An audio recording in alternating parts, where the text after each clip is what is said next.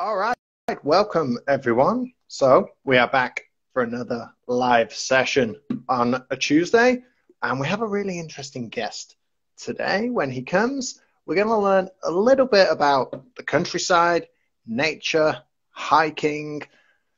It's kind of an interesting topic, I think, because I know a lot of people at the moment they want to get out of the city. Sometimes maybe where maybe it's the same as where I live.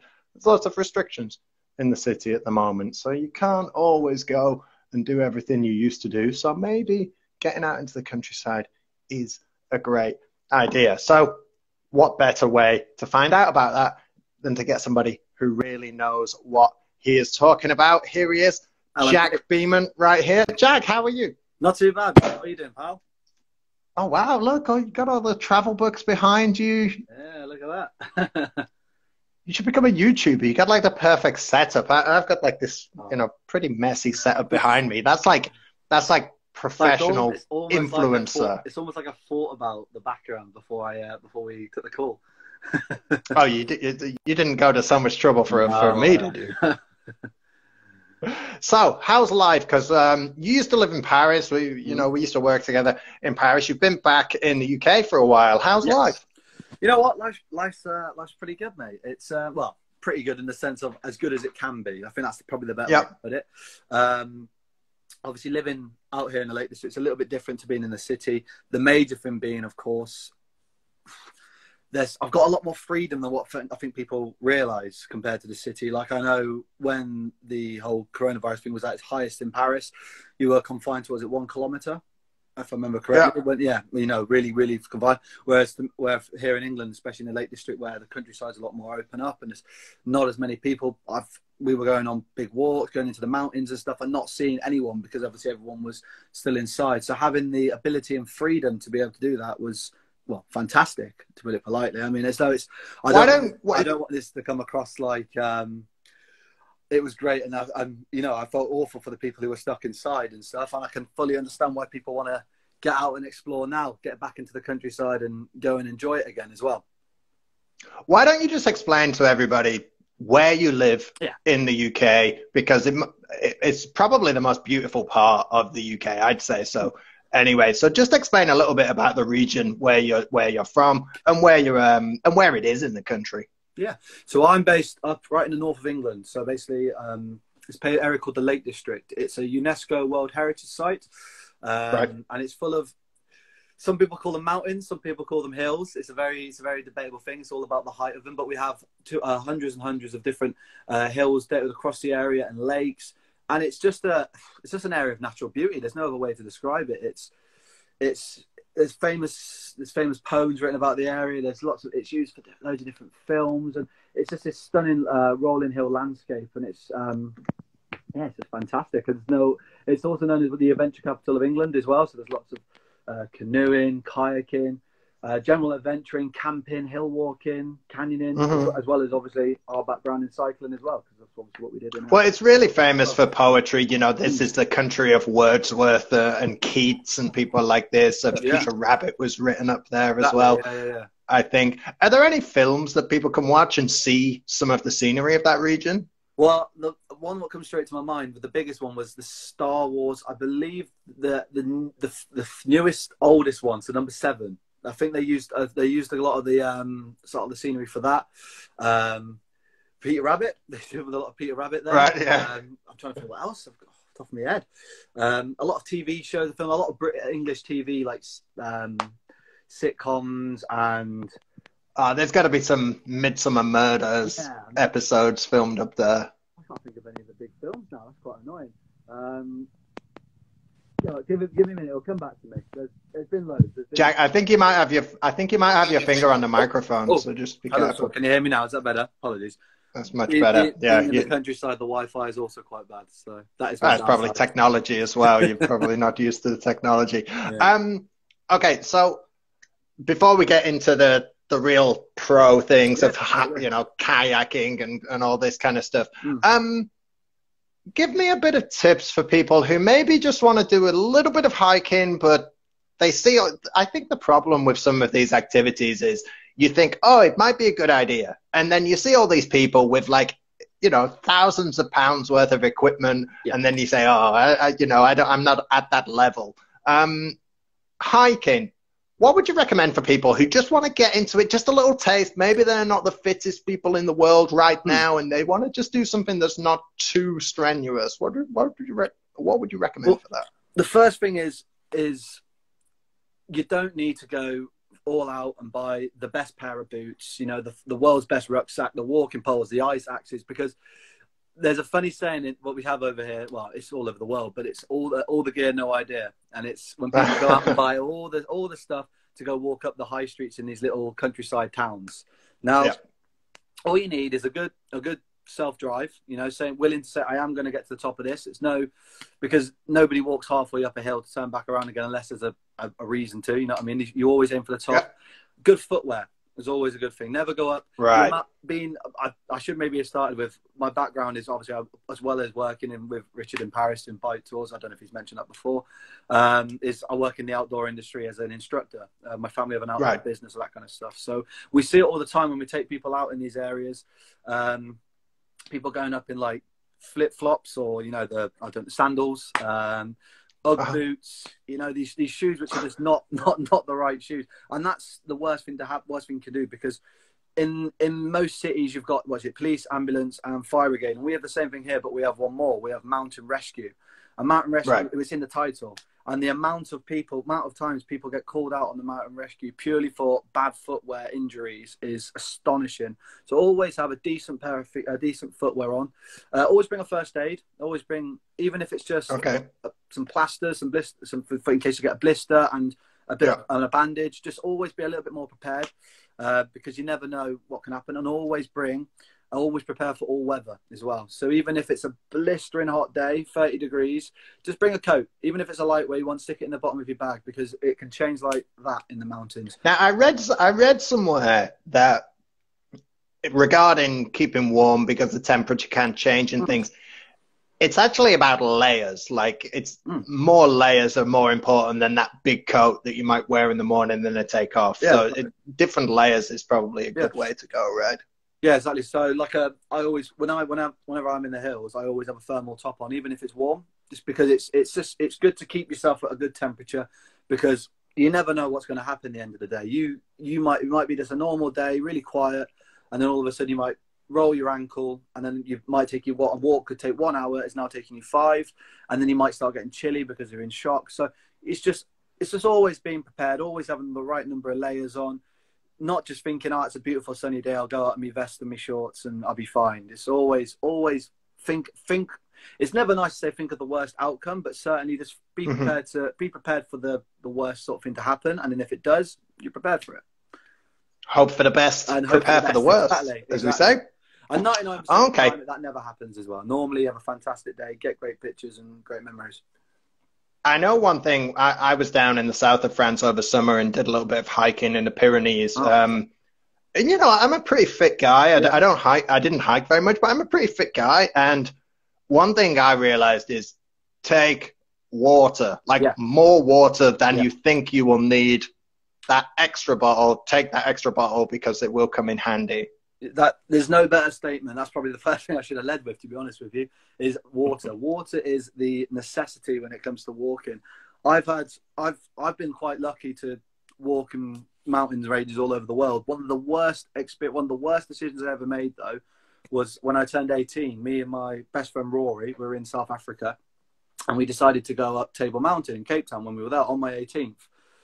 And uh, we read that you could go up there for free if it was your birthday. So we turned up and we found out that that was only if you were South African. So we decided, ah, we'll walk it. It'll be fine. Forgetting that we are in South Africa in February in the middle of their summer. So mm-hmm. we're getting halfway up with only, I think between us, I wouldn't say we had more than two and a half, three litres between us. And we got halfway up and we realised, like, we're in we're in a bit of a situation here where this could be quite dangerous. So you're all luckily, obviously, I'm still here now, so I'm fine. And I was we got to the top eventually, but it's one of those things where you always, always, always bring bring bring five liters and then bring an extra two in the bottom of your bag just in case as well, just yeah. in case you need to help someone else out along the way. One of the cool things about living in the Lake District, though, is, and I've, I've discovered it quite a bit when I was uh, walking during lockdown, well, the isolation period of lockdown, is uh, mm-hmm. the amount of freshwater springs we have. It was fantastic okay. going along, and I, you'd finish all your water because uh, I did. A, I walked up a mountain called Bow Fell a few months ago, blister in the middle of our blistering hot summer. Ran out of water, and I just stumbled across this freshwater stream.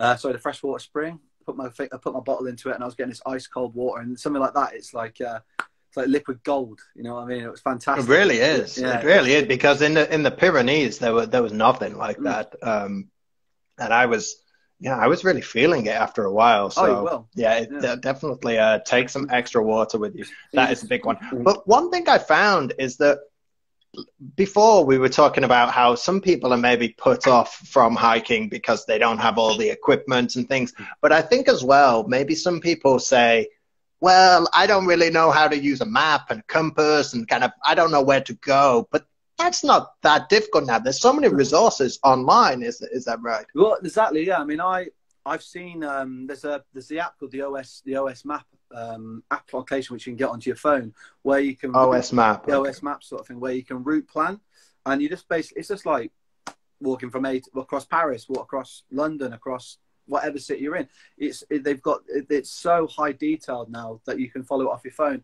And on well as, as well as of course being with the technology we have today, 4G and all these signals are getting better and better. But on top of that as well, and I'm speaking on behalf of the Lake District here. I'm not speaking globally. Mm-hmm. It's such a such a popular area to visit. You're bound to meet somebody else who's doing the exact same walk as you and you never know. You, you strike a conversation. In uh, there's a thing about up up in the north, we're a lot more friendlier. They say, uh, so you mm-hmm. start a conversation with someone and you end up talking with them and you end up maybe walking with them and you ask away. And on top of that, we've got lots of streets, uh, we've got lots of signs up in the hills pointing for the summit.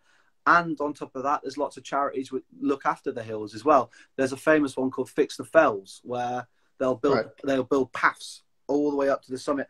And when I say paths, it's not like you're walking for your, from you know to your local supermarket. It's still mm-hmm. a very natural looking path. It doesn't feel like you're walking on a a man-made route, if you will. But you should stick on the paths yeah, as well, right? Not. There's nothing yeah. you should never, unless you're with an expert, unless you're with someone someone who says, right, I know the way, I'm, I'm takes the full control of the situation. You never abide to go off the path because that's when we mentioned it before the mountain rescue come out, and every year working in the industry, working, you get a um an the, the instant the annual report, I think they call it, off the mountain rescue, and you just flick through the reports of the rescues they've done, and about 95% of them are people straying off the path. So just make your route, plan your route, stick to your route. That's one of the biggest things I, I would put out there. It's interesting how you said that maybe people are a bit friendlier in the countryside. And I think it's just when you put somebody in a city environment, everybody's a bit reserved and a bit closed off yeah. in a city. Um, not last weekend, but the weekend before, I went on a hike with um with one of our friends actually, with Phil. Oh. And we did uh yeah, we did like a 10, 15, uh 15k kind of walk through the woods and through a couple of gardens and things and and I remember at one point because he's American, we're both speaking English, and a French woman was near us, and she started talking to us, and it, you know, it was nice. She was nice and open, and she was chatting for five minutes as we were all walking in the same direction. And I remember thinking she was the type of woman that if she was in the city, she would never talk to, you know, to kind of just randomly start a conversation with two people. So I really liked it that people are a bit more open in the countryside and, and more likely to help people. That, that was my biggest, when I moved to Paris, I moved to Paris oh, 2017. That was my first biggest shock about Paris was I've, I've lived in other cities around the world where I wouldn't say it was like super super friendly, and you wouldn't just go up to a random person start a conversation. But you know, you if you said hello, you'd get a hello back. And in the Lake mm-hmm. District, it's almost rude. Well, in the countryside, I keep I should really say it's almost rude not to say hello to someone as you walk past them or good morning.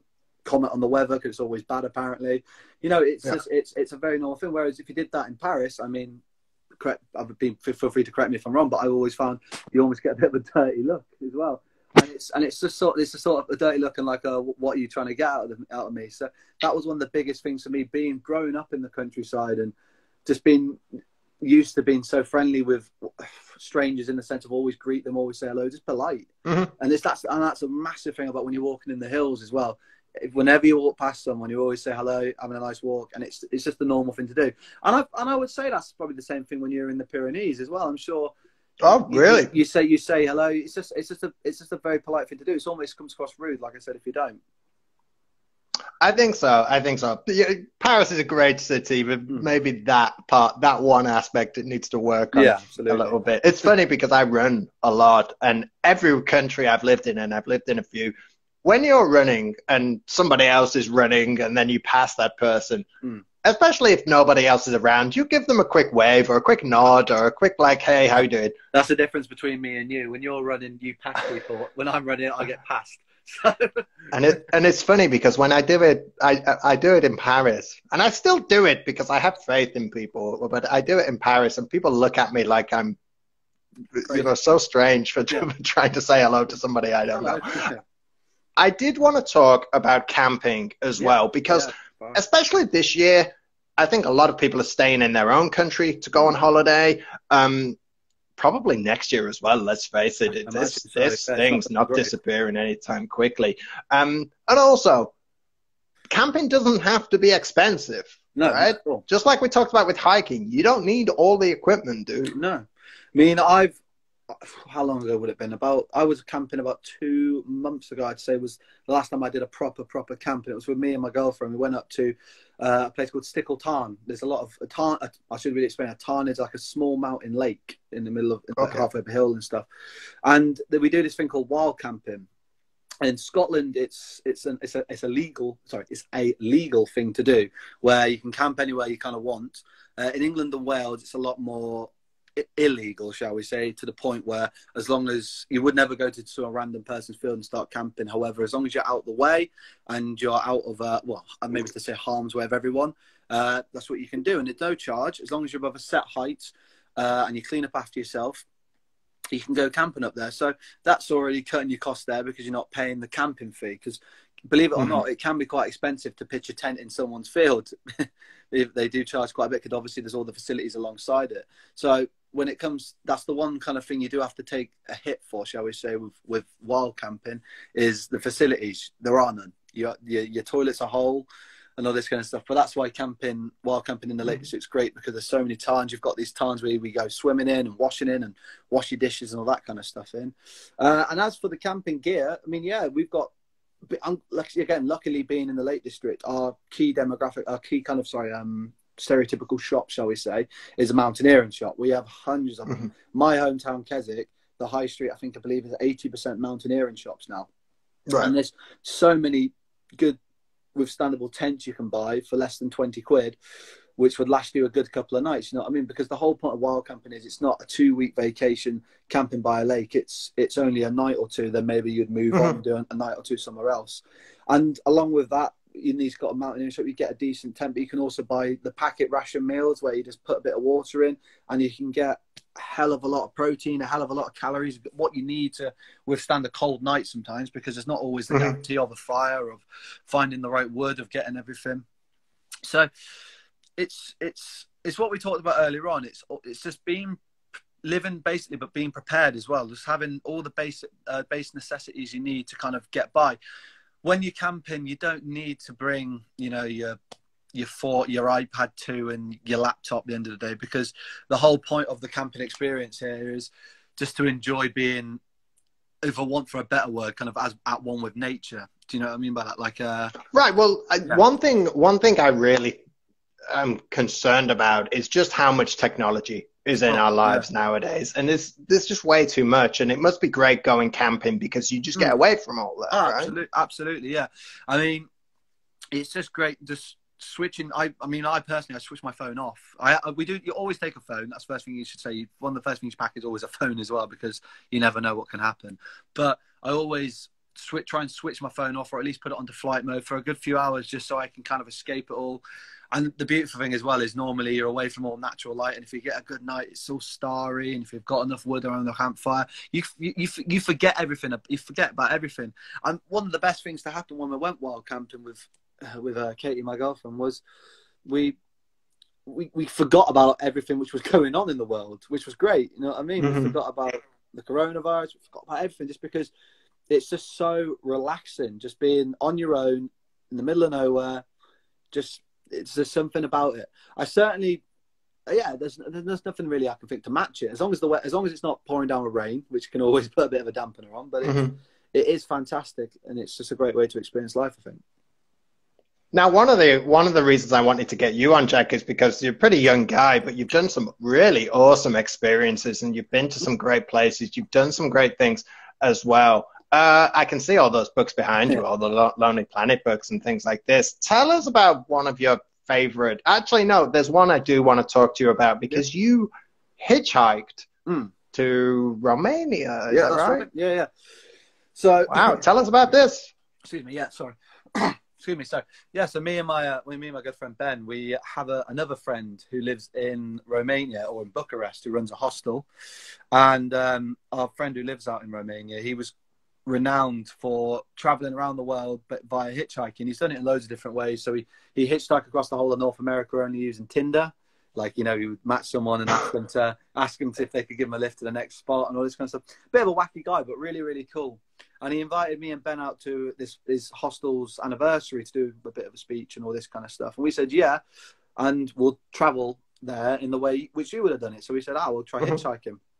So we set off from Paris, and um, we met all every every all sorts of life. You know what I mean? It was one of those experiences where if you had a if you had a list of every single kind of characteristic of a person in the world, I met we met them. It, but it was all it was all a positive experience. Oh, so it wasn't just truck drivers? No, no, God, no, no, absolutely not. We got we got. I think we we would have had used we used over about 25, 26 drivers.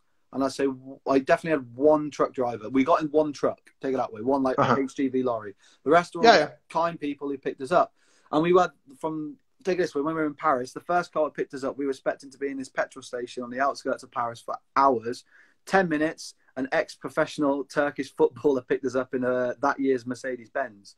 So it, it took us all the way to Frankfurt as well. So it's just one of those things where you've got to you've got to. I would first, I would, first of all, if you want advice about it, never do it alone. I would fully recommend. I wouldn't have done it. Right. Even I'm six foot four and all this kind of stuff, and I'm friendly. But right, not... because I was going to ask you, like, uh, you yeah. know, you're a big guy, uh, mm. tall, kind of well, you know, big, big broad shoulders and stuff like this, like. You know, maybe a little bit of big beard, you know, big Viking, basically. So, you know, maybe a bit intimidating for some people. Yeah, I, well, I, I personally thought that too, but I think if you've got the right personality and quite a, a friendly manner, then uh-huh. it comes across. Then it, it, just instantly comes across. Like my, uh, my my grandma always calls me the BFG, a big friendly ginger, and I've just kind of always adapted that kind of you know yeah, yeah. characteristic towards it.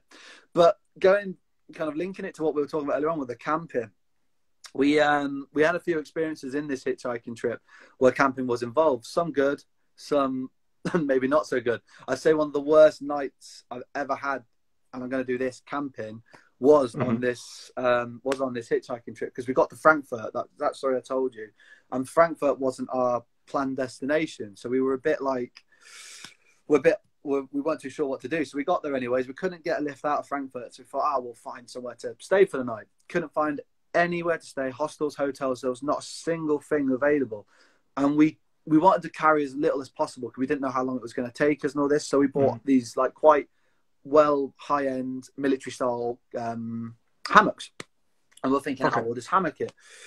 Couldn't find anywhere to hang this hammock, and eventually we thought, ah, airport, we'll sleep in the airport. Couldn't get in the Berlin, air, uh, sorry, into Frankfurt Airport, so that we ended up sleeping the night. And if anyone here has been to Frankfurt Airport will know, there's a humongous uh, roundabout outside it with loads of trees and stuff in the middle and we spent our first night hitchhiking sleeping in the middle of this roundabout.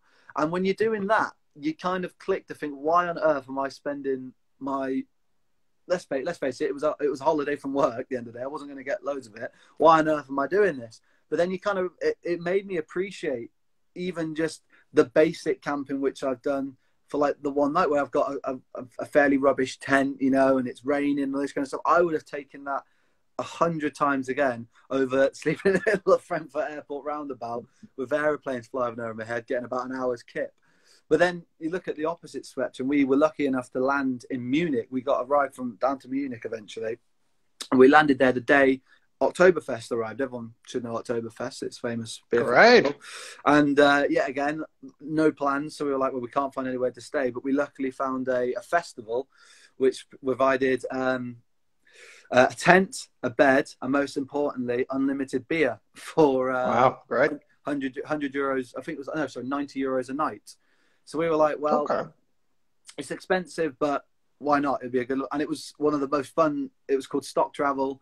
It was one that. Well, I'm sure you just had to really oh, ensure that you drank your money's worth. Exactly, right? you had to drink our money's worth. We soaked in the German culture, from what I remember, and it was it was, but it was fantastic. You know what I mean? Like very, and it, it was funny as well because that fit, we went from obviously that Frankfurt experience to that, and just having the basic facilities of a shower and being able to brush my teeth and be able to wash my mouth and stuff after doing that and all it, uh-huh. was, it was like it was like I found a pot of gold at the end of a rainbow. Do you know what I mean? It was incredible. It was just having the basic. So you had um you had an ex Turkish footballer in a great yeah. Mercedes who took you. You said about 25, 26 people yeah. g- gave you rides. What other kind of profiles did did you meet? So we had a. So I remember, I remember we had a French Hungarian man who was the third richest man in Budapest, and that wasn't like him saying it. We've actually we found out he owned this massive building company, which was really interesting. Uh, but then we owned the opposite spectrum. We had a we had a chap who um, who who took us on. It was when we were in Romania. It was one of the final stints. I, I can't remember where what part of Romania. There was some very long named places, but he drove us via his mum his mum's or his mother's and took us for dinner there and had like a traditional Romanian dinner. And seeing how they kind of lived, it was very you know it was everyone in one room it was one pot meal. It was just mm. the most basic living. But yet he even he was willing to you know provide provide that meal for us, and we tried to give him money, and he wasn't having it. And tried. To I think sometimes people forget that when they mm. when they go away, like don't be scared of asking, you know, starting conversations with people, or even, especially if you want to, English learners, if you want to practice your English, you go to somewhere like the Lake District, start a conversation with someone like Jack. He'll talk to you oh. for hours because people are generally quite proud of their area or their country, and they just want to show you how, how great it is. So, what, yeah, that's a really good good way to meet other people. And what I found as well, which was incredible, was I don't speak. I mean, you, have known me for a few years, Richard. I, I don't speak great. I speak enough, a little bit French, but I don't speak great French. I don't right. speak German. I don't speak Hungarian. I don't speak Austrian. I don't speak. I don't speak any many other languages. Yet, I learned so much about all these people's lives who I did this hitchhiking trip with. I can still remember mm-hmm. the guy who took us uh, uh, from uh, from just outside of Frankfurt down to Munich. His name was Jelko. He was from Greece. Mm-hmm. Uh, he, he moved over to Munich 30 years ago to get a better life with his family. He didn't speak a word of English, mind. He was doing it, well, he spoke very basic English. And this was all done through, you know, the Google Translate app, through just kind of picking up a few German words which I knew and trying mm-hmm. to string forward conversations. He spoke a little bit of French. So it was, it was just incredible to, I mean, this, this trip was three years ago and I still remember that. And it's just, it, the, even though, like, even though you maybe don't share the first your first like your mother tongue with this person, you still learn so much about them, which I found fascinating.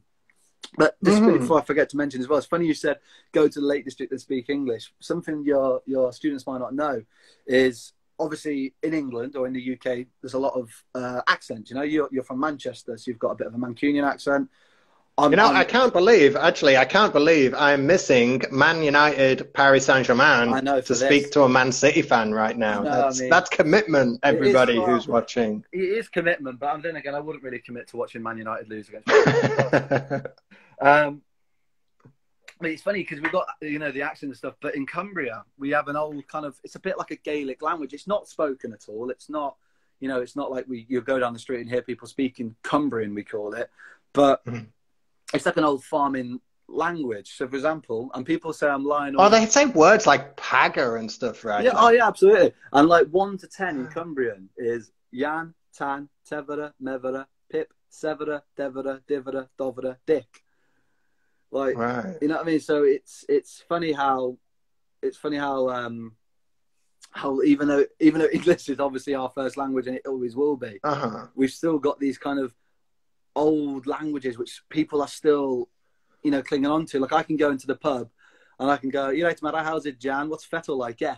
And they'll know what I'm saying. Fettle, yeah. You know what I mean? They'll know what I'm saying, even though it's English. Uh-huh.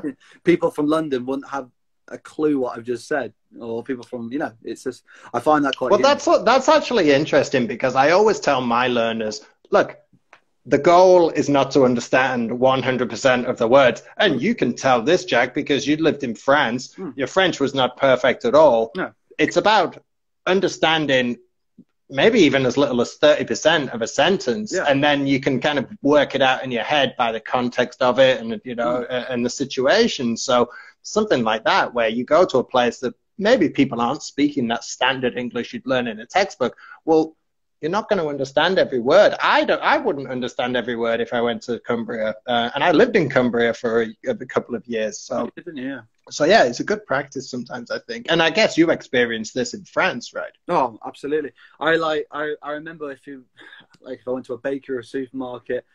I, I wouldn't be able to get the full sentence up, but if as soon as I got a word, or sorry, let me rephrase it, I wouldn't understand the full sentence they were saying to me. But as soon as they said a word which I knew, it was all. It was never the. It was never like the word the or and. It was like fish or broken or something like that. Do you know what I mean? It was a word which yeah, yeah. I could I could work out what they were saying. So as long as you can pick up the one the one kind of word in the sentence, it works straight away. So especially let's say for example going back to what the topic is about being in the hills and stuff. Let's say if you're lost, just learn pick up the basic skills of emergency kind of emergency language in the mountains like i'm lost. Can you help? Or this kind of stuff.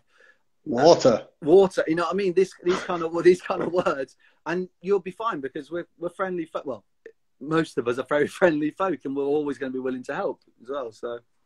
No, I think people are always uh, always willing to help other people in a situation like that because they know that things can go wrong and things can go wrong quickly. But that's why we said you should definitely stay on the trails. Yeah. Find the route before you go. There's so many websites now. When I go hiking, I download the route uh, and then I can put it on my phone. It's pre-programmed and I just follow the GPS and and so try and do that. Mm. Clean up after yourself. Don't litter the countryside and just be respectful to the area. Yeah, absolutely. I think that's. Um, but it's funny you mentioned that. That's one of the biggest issues we had during the uh, the lockdown period was littering.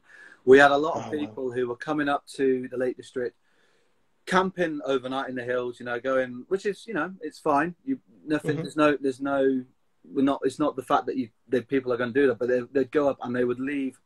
They treat it like a festival. You know, they would have a campfire, have hundreds of beers, and that kind of stuff. But then they would leave, and they wouldn't. Some of the people would even take their tents you know, some people wouldn't even take.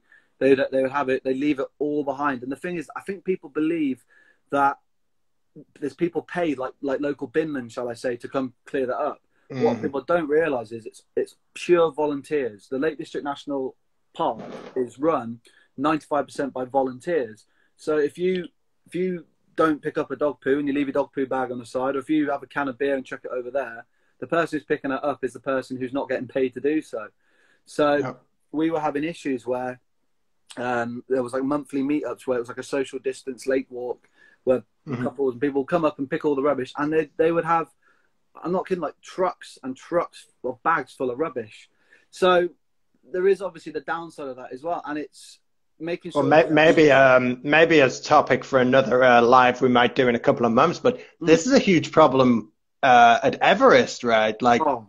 Mount Everest has a huge problem with trash. Yeah, litter, trash. It's not very nice thing to say, but obviously bodies as well. It, it, it, yeah, yeah. And I've there's a someone someone we know in our family who who who's gone up Everest before. Right. An old family friend, and they were saying how it's um it's like oh, you just walk past you walk yeah, past you dead walk bodies basically. But more to the point is you're now queuing to get to the top of Everest. Like yeah. that and that that it shouldn't happen in a day. It shouldn't be. Let's uh, let's say let's save that because yeah. I'd love to get you yeah. back on in about a month or six weeks Absolutely. and talk about that because that's a cool one. Um, just before we go, I know it's difficult for travel at the moment, but do you have a, you know doing some hiking or some camping? Do you have like a dream destination? I know some people they want to go to the you know the Rockies in North America, or they want to go to mm-hmm. Nepal mm-hmm. or you know Bhutan and kind of go and hike in the Himalayas. Have you got any area you'd your dream destination to go hiking or to go out into the countryside? I mean, I, I mean, there's hundreds. The, the two I've got two which jump out to me straight away, and it's uh, either doing the Machu Picchu kind of the Inca Trail range. Yeah, um, my my godmother did it back in the um, back in the eighties and showed me showed me some pictures of it, and it just looks incredible. It's just something which I would love to mm-hmm. you know have a pop at, or going into you know Yellowstone, seeing El Capitan, walking around that sort of area. I've always, always wanted to go around Colorado and explore that kind of that kind of region of America and hit hit the hit that side of it. So those two are probably hiking wise where I'd like to go and explore a lot more. Great, perfect. Well, we're going to get you back on the show, Jack, in a couple of months though, because you've got some great stories. And yeah, I want to talk about Everest. It's one of my favorite subjects oh, because it. I've, I've read a couple of books about it. Mm. And uh, yeah, it's a really interesting thing I've, that's I'm going in on. I'm in the middle of reading the book up there. It's that one there. It's about Everest. Which one? What's it called? oh, shit. Ranulph Fiennes, Gold. All right, okay. Yep. Yeah. And it's been mentioned about how he went up there. It's fantastic. I would fully recommend you read that one. Well, yeah, because um, yeah, we might, we might. I'd love to talk about Everest because maybe it, maybe it's a lesson for life that people, like we were talking about with hiking or camping, start at the bottom, start simple, and gradually build it up, Absolutely, right? Yeah. But this is the problem with Everest. You get rich people; they've never climbed a mountain before, and oh. they go, "Oh, I want to do Everest first time." So, uh, and yeah, they think, and they think it's just a mountain. That's the thing, but it's more than just a mountain. It's a, it's a well, it's Mother Nature herself. It's the boss, isn't it? It's the it's the last. the ultimate challenge, yeah. I mean, it's the ultimate challenge. But yeah, let's leave it for another chat because I could I could talk about Everest for days, mate. So. All right, great, Jack. Thanks so much for coming on the show. Really interesting, really interesting topic that uh, people are going to learn a bit from and get some great English practice as well.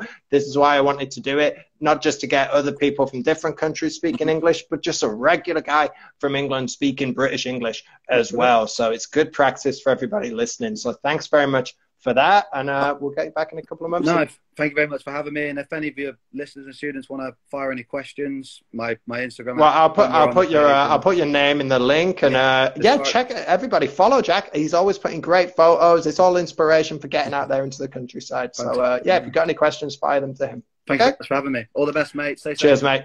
Bye. Thanks. Bye.